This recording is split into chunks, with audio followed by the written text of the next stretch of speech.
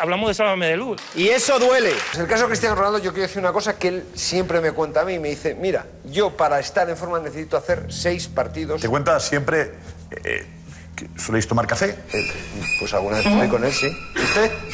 Yo no, yo no hago entrevistas. Bueno.